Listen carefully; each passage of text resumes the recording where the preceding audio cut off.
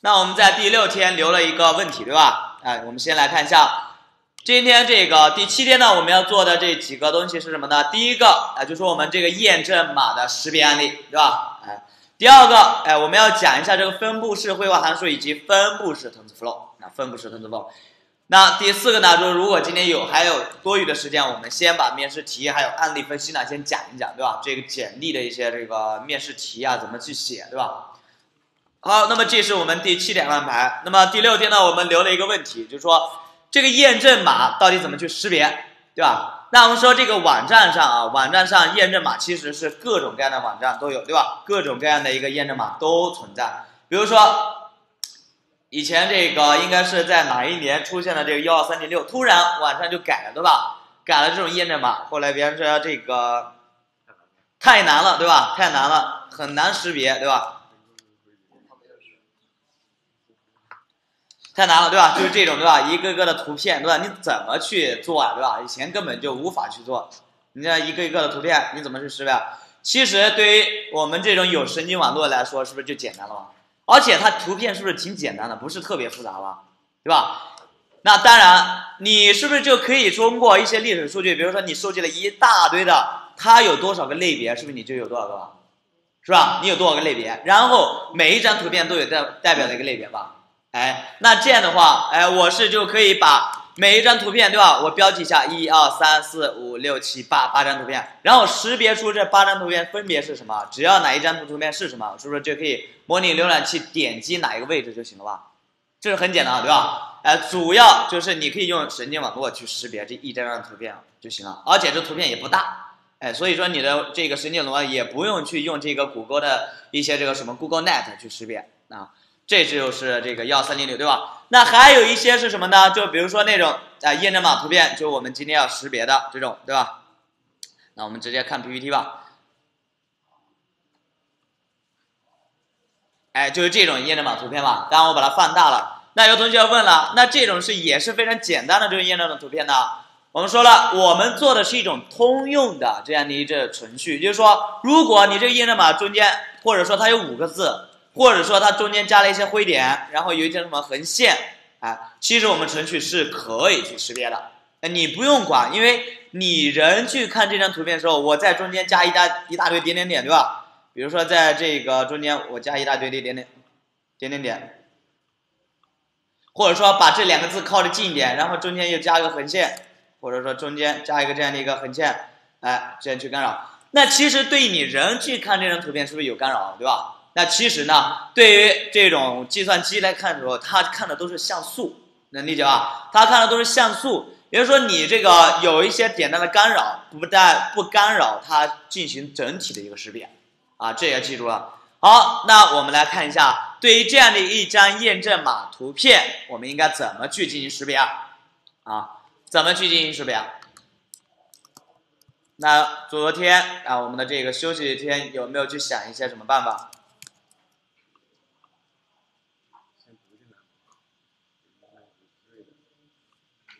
怎么去识别啊？你自己有想过这个这个问题吗？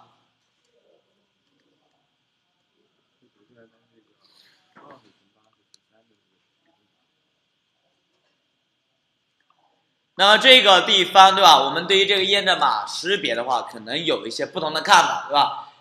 比如说，有人想了就分割，是不是分割？对吧？比如说我把它这个 n 分分开，z 分开，p 分开，然后呢，这个 n z p p 单独去识别啊，这个就是一个 n，这是一个 z，这是个 p，这个是个 p。那么，但是如果你想到是这种分割的话，有什么缺点？假如说我现在给你一个验证码，它的这样的一个字非常靠得很近，那 z 呢跟这个基础本身是挨着，这个 p 呢也歪一点，对吧？p 倒一下，这个 p 又倒一点。那这样的话，你这张验证码你分割，你还知道怎么去分吗？按多少大小分？因为我们现在是等距的，对吧？等距的，你分割很简单，对吧？你用一些这个一些这个库就可以去达到分割的能力了。但是分割并不是一种通用的方法，它对于更多的验证码图片来说，是不是不太通用嘛？哎，如果说验证码比较难的话，那稍微倒一点，z 也倒一点，那这个粘得很近，你根本就无法去分割了，对吧？所以在这里分割这种方法呢，其实对于神经网络来说是没有必要的啊，没有必要。那所以我们应该怎么办呢？整体的去识别它，整体的识别。那整体识别就相当于我把这张图片读进去之后，那这整体识别怎么识别呢？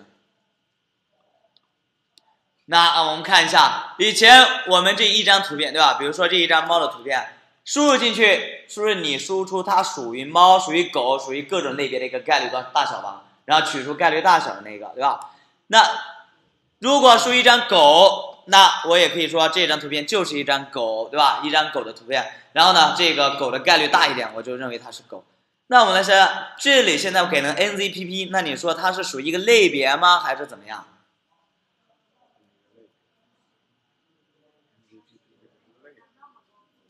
对吧？类，你每一个类别是不是有很多，或者说你这里面对吧？每一个地方都有很多种可能性，是不是就有很多种组成方式？那这样的话，你的类别是不是几千种、几万种都有可能啊？那所以会造成一些干扰，对吧？所以我们应该怎么办？对于这个输出。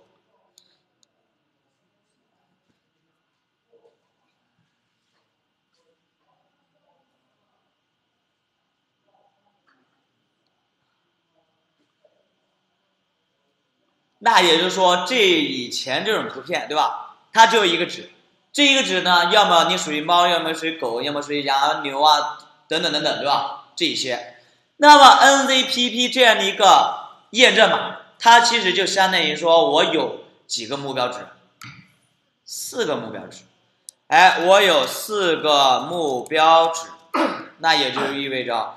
好，比如说我这一张图片里面的验证码，我我已经记下了，对吧？是 NZPP 啊，NZPP，这是不是我们几个目标？哎，我要识别出来什么？这张图片好，我要得出来，它这张图片里面有什么？有 N，然后呢有 Z，然后有 P，然后还有个 P，这我们有四个东西吧？是不是有四个东西？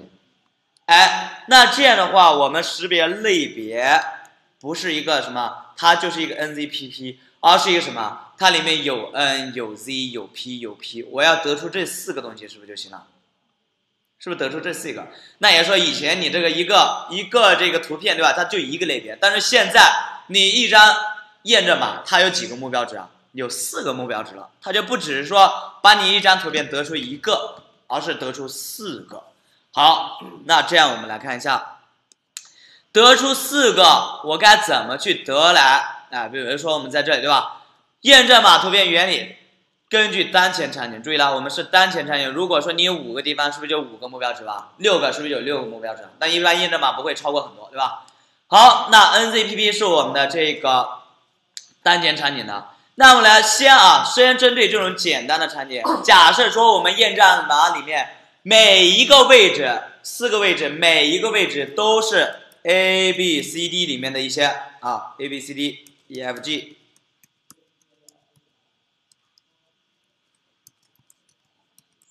V W X Y Z。那说，我每一个位置是不是只有这多少多少种可能性啊？二十六种可能性吧。注意了，我们现在只针对当前的这种简单的，就是大写的。如果说还有小写的数字的，我们等一下考虑对吧？那说现在你每一个位置是二十六种可能性，对了，你第一个位置，我这个验证码是不是可以这里面一种吗？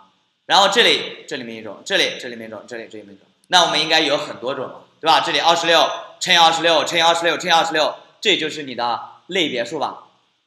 是吧？哎，你有多少张？就是说你最多能组成多少张这样验证码啊？哎，这就是你那本书。但是我们现在分开去看，你现在有四个目标值，那你每一个地方都有二十六种可能性，这里也有，这里也有，对吧？这里也有。好，那么对于这样的一张的验证码图片，我经过这个神经网络或者经过卷积神经网络，我的输出。或者说我这中间做一些什么东西，应该怎么去判定？或者说我的输出应该怎么样？好，我们来回忆一下，你呃，我们之前做的这个手写数字对吧？手写数字，你输出是什么？你输出是十个值吧？你也有十个类别对吧？你输出十个值，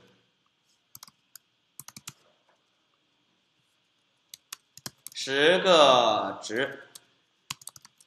好，那么输出十个值，我是不是每一个对吧？你属于每一个类别，是不是就代表你十个类别的概率啊？哎，你转换成十个类别的概率吧，用 softmax 对吧？哎，这里我们用 softmax 就可以实现十个类别的概率。好，那你只要比较这个概率哪个大，是不是就能得出哪个类别了？但是现在你还这样能这样去做吧？哦，我输出四个值，对吧？四个值属于四个类别的概率吗？不是吧？哎，不是这样。那应该怎么做？你现在有四个目标值，每一个目标值有二十六种可能性。好，那我就一个个看。你这个地方是不是有二十六种可能性？看到啊，n 是不是有二十六种可能性？那我就判定。这个目标值属于这二十六种可能性里面哪一个概率最大？能理解什么意思吗？可以吧？好，那我就这样去判断，对吧？我这个 n，它属于这二十六种可能性，对吧？我们这个把这个复复制过来，我只要输出是这二十六个字母里面每一个地方的一个概率，是不是就可以了？好。这里比如说啊，零点一，好，零点小一点，零点零零一，零点零零零二，好，等等等等等等，啊，后面我们就写了。那说我 n 也要得出它属于这二十六个字母的一个概率大小，我从中选出一个最大的来看一下是不是 n 吧？能理解什么意思吧？好，那对于第二个怎么办呢？第二个 z 我也一样，我第二个 z 的时候呢，我也可以这样去做。哎，我第二个 z 它也有二十六种可能性，我就判定它属于这二十六个里面的每一个类别的概率是多少啊？比如说我们稍微改一下，对吧？好，接着第三个、第四个位是不是同理？哎，我也同理去判定你这个 p 属于这二十六种可能性的概率，还有你最后一个 p，对吧？当然，我们现在是已经看到结果了。如果说你没看到结果，是不是你想把四个位置的值得出的概率，是不是尽可能匹配到原来的值啊？好，那你说现在你是不知道 n z p p 的，你是不知道这个东西的。那现在你要目的干嘛？是不是让它输出的概率接近你这个 n z p p 啊？是不是接近你这个 n z p p？好，那最好的方式是什么？我这个 n 我应该建立一个什么？我们说了，你要比较概率，怎么在守一个什么一个位置？你的目标值应该是一个什么？目标值应该怎么处理？是不是一个弯号的编码？弯号的编码。好，既然弯号的编码对吧？那我是不是就可以把以某一个目标值，注意了是某一个目标值，我用二十六个二十六个数代替。然后我这里面它属于哪一个？我用一给它置位，是不是可以？可不可以啊？好，那我这个 n 是不是有可能是这个样子，对吧？n 对吧？在我们后面对吧？我这里是零零零零零零零零零零，好，再来个一零零零零零零零零零，好，假如说是这些对吧？好，那这是不是二十六吧？常是二十六，然后我其中哪一个位置是一就行了吧？好，接下来我这个地方。你是不是也是 z 在哪一个位置？它的真实值啊，这是它的真实值，是不是也是在哪个位置？比如说在这里啊，这个 z 是在后面啊，我们写到后面去。这是零，对吧？比如说 s y z 啊，最后一个位。好，然后我的 p 在哪个位置，对吧？我假设说这中间有二十六个啊，然后呢 p 在这里，那这个地方就不能为零了，只能为零。然后这个 p 同样在某个位置是一样的。那你说你的目标值是某一个类别，它属于二十六个可能性里面的哪一种吧？是不是？我置为一，置为一，置为一，置为一这相当的相当于是我们之前讲的这个弯号的编码，它的目标值是什么？但是主要注意了，我们是一张图片，它的目标值是不是有四个这个东西啊？哎，这就是我们的这个。假如说啊，现在你做的业务这个验证码呢，它并不是这么简单的四个。它有五个、六个，而且每个位置呢又有可能有数字，又有可能有小写字母，那应该怎么做？是不是就增加可能性就行了吧？那比方说我现在有五个目标值了，啊，这我举例子就行了，我们后面肯定是识别四个就行了。五个目标值，每个目标值呢，我又加了数字小写，那我们说数字有多少可能性？十个吧。然后小写多少可能性？二十六个。大写有二十六个，那我们加起来每一个位置有多少可能性？二十六加二十六等于多少？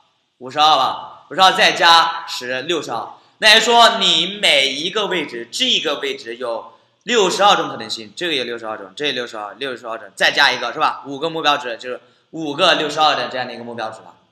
哎，那也就说你最终建立的这个弯号的编码应该多大？是不是六十二？它某一个位置属于这六十二个里面哪一个吧？我是不是把这个东西置为一就行了？哎，这个就是你解决的方案。好，那么这是我们分析的。对于一张我们一张这验证码图片，我们是有四个目标值的，不是有一个目标值。那所以我们应该这么去做。好，那么这么做的话，那接下来怎么办？就也就是说，我的输出应该是怎么样的？经过我们的神经网络，对吧？神经网络，我们的输出应该是怎么样的？四个值，四个值应该是什么样的情况？我们的输出，看到这是不是就是我们的输出啊？这个地方是不是就是我们的输出啊？那我们看我们的输出应该多大？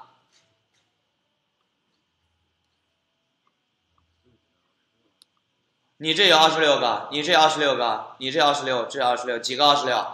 四个二十六，四个二十六应该多大？四对吧？四乘以二十六，是每一个目标值是二十六的这样的一个概率大小吧？哎，这就是我们的这样的一个输出。那说我最终经过神经网络之后，我要输出这样的一个大小的东西，是不是这样东西啊？是每个样本对吧？现在是每个样本。每个那啊，那每个样本是不是你输出应该是这个东西吗？然后我要比较这其中第一个目标值它的可能性跟这个比较，是不是在某一个位置？能比较吗？是不是在概率最大的在这个位置？然后这里面概率最大是不是在这个位置？然后这里面概率最大的是不是在这？这里也一样，是不是可以去比较？哎，那这就是我们的一个输出。那跟我们之前，你如果是十手写数字，对吧？你的输出应该是什么？每一个样本它的输出应该是十个值，这十个值是用经过 softmax 计算它属于这十个类别的一个概率大小吧？那现在我们是有四个目标值了，你输出大小是不是变了？哎，变成这个东西了。好，那这是我们从整体的去看，对吧？整体的去看，我们这张图片应该输出东西是什么？那我们再往细里看，那进行我们输出值拿过来之后应该干嘛呀？输出值你已经拿到了，想想我们手写数字拿到了之后是不是干什么？预测这个值我们应该什么？是不是要进行交叉商损失计算嘛？计计算损失是不是这是一个很？很大的步骤吧，对吧？这是你一般拿目标值直接跟真实比较，对吧？交叉商损失计算，那这个地方就有问题了，对吧？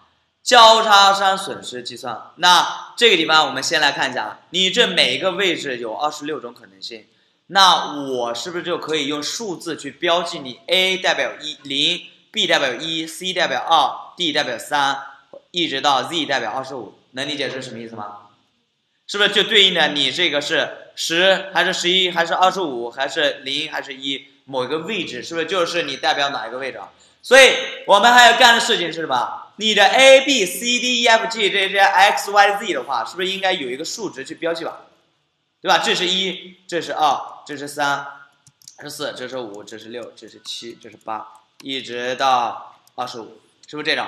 因为我们计算机它看不懂这个 A B C D 是什么东西吧？对吧？我们只能把类别名称，这是类别名称，对吧？你每一个地方的类别的这个名称转换成一个数字，然后用数字进行转换成弯号的编码嘛，是不是啊？哎，这个要注意的啊。好，那么现在，假如说我们现在已经知道了你一张图片你的目标值对吧？这是你的目标值，我把它呢分为四个地方对吧？四个部分，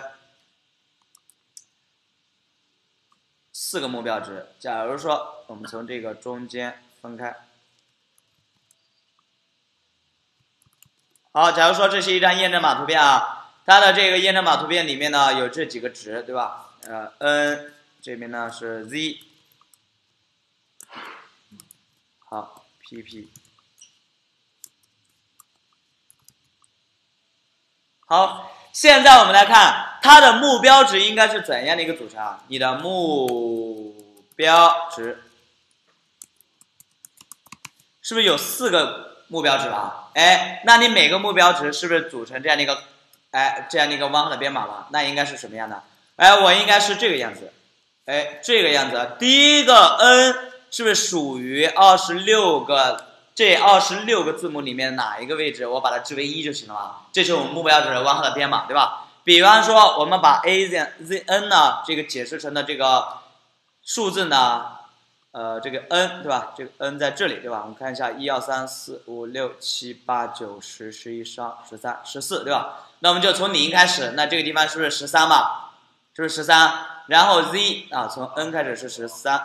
十四啊，z 是二十五对吧？这个不用数了，z 是二十五。然后我们再看 p，十三、十四、十五，是不是十五啊？哎，那就说你的这个对应的是不是十五？然后呢，你这个 p 呢也对应的是十五。好，那现在我们用这四个东西建立万号的编码，应该是怎么样情况？是不是这个地方零零零零零零，对吧？一直到第十三个位置为一吧？然后零零。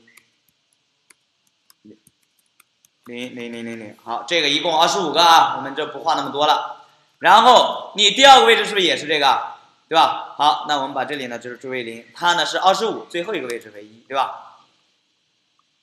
然后再来看 P，对吧？P，那 P 呢是十五位置，我们稍微往后面来两个，对吧？这里十四、十五，对吧？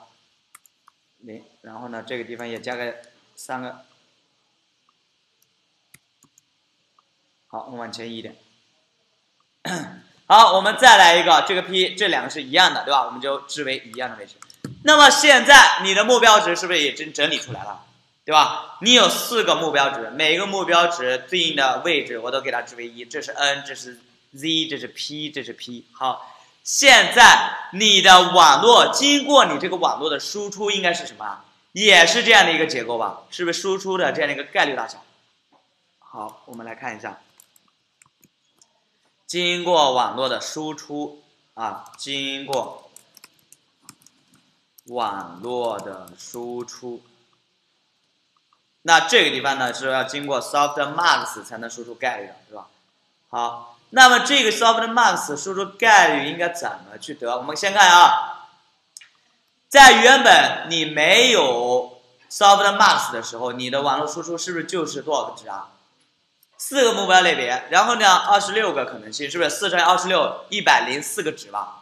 哎，你的输出应该是这个图片经过你这个网络输出应该是四乘以二十六，等于一百零四个值，是不是一百零四个值？然后这一百零四个值呢，它应该怎么去转换概率才能与它进行交叉上损失计算？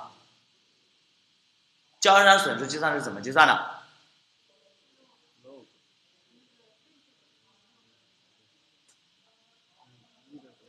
交叉上损失，我们再来回顾一下，它应该怎么去叫？你的这个损失，比如说是 S 等于负的求和吧，这是一个样本啊，这是某一个样本，某个样本，某个样本，它的损失应该是你的真实值吧？真实值，比如说 y 一撇乘以 log。就是你真实的这样一个数据，然后乘以 log 你的预测数据吧，y，好，这是你的，假如这是真实的吧，这是 y 干 true，true 一，然后乘以 log y 干，哎干干 predict，而且这个 predict 是一个概率值吧，好，那我们想，之前你在十个类别的时候，你一一去相乘吧，就是零乘以 log 几。零乘以 log 几，加上零乘以 log 几，加上一乘以 log 几，加上零乘以了，其他都是零，只有一个一。那所以最终就是一乘以 log 那个值吧。如果说那个 log 里面的那值也是一的话，说明我们这两个位置是不是一样的？你预测的概率是百分之百，然后跟这个它标志是不是标记的弯号的编码是不是也是一样？那最终你的损失是不是为零？是不是这样的一个情况？这样能记着吧？好，那么现在我们有四个类别了，怎么办？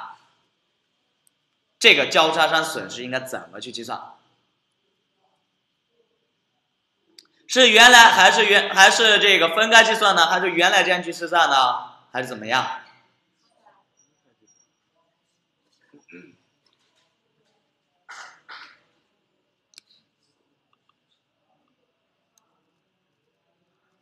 应该怎么去计算呢？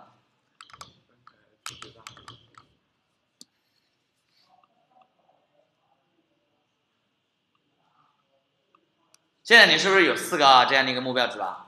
哎，有四个位置是为一的。然后呢，这里你是不是预输出了这个什么四呃一百零四个这个概率值了？那应该怎么计算？注意了，我们的网络输出经过 softmax，softmax 是怎么计算每一个位置的概率的？这个值应该怎么得来的？这个值？softmax 的公式还记得吗？这个值是怎么得来的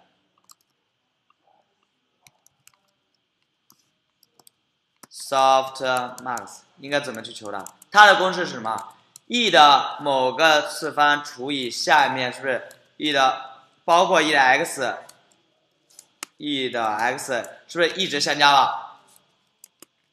啊，e 的 x 是不是一直加 e 的多少啊？某某某某，是不是一直相加然后去除啊？那我们现在有多少个值？一百零四个值，那是求出这个地方的这个概率，应该是用什么啊？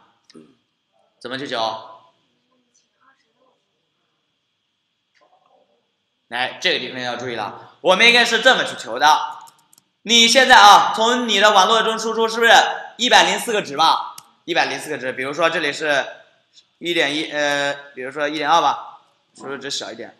然后呢，这里是二十三，然后呢，三十四，哎，比如说是十九，好，一个过去是不是一共一百零四个值吧？你经过这个网络输出这个值，然后我这一百零四个值，然后通过这个 softmax 转换成了具体每一个位置某个地方的概率吧？好，那么这个概率啊，它既然是这样去求的话。那我就可以用这个一百零四个与这个一百零四个去进行交叉商损失，直接去计算。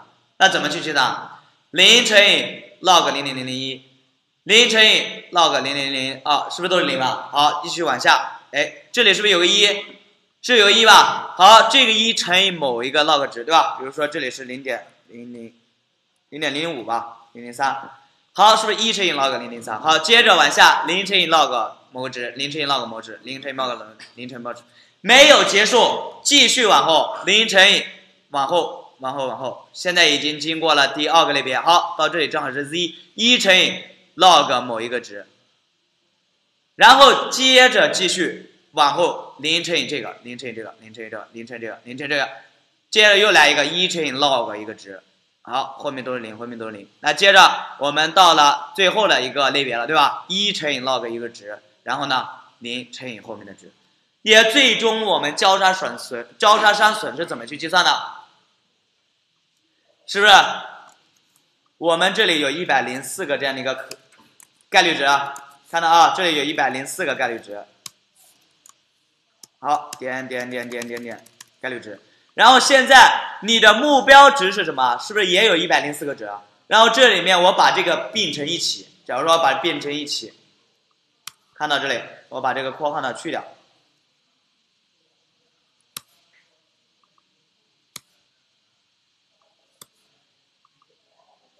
是不是就一横行，对吧？这里面有多少个值啊？一百零四个，里面有多少个一？是不是四个一啊？是不是你的目标值有四个一吧？好。它这里面就有四个一，分别与你这边交叉了，这是一个样本，对吧？零乘以这个，零乘以这个，里面有一个一，然后呢，再来一个一，好，再来一个一，再来一个一，那这样计算出来的交叉商损失，应该最后结果应该是这个样子吧？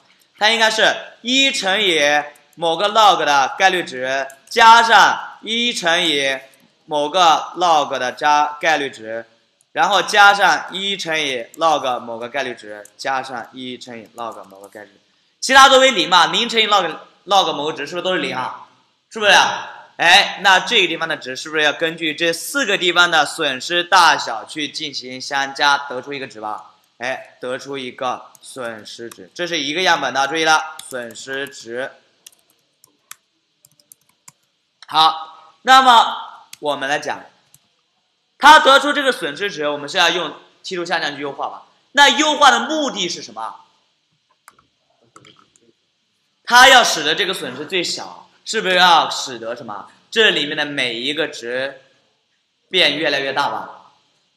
变越来越大，哎，最后我就可以比较这个里面这前二十六个地方的这个概率最大的值跟这个地方是不是相等？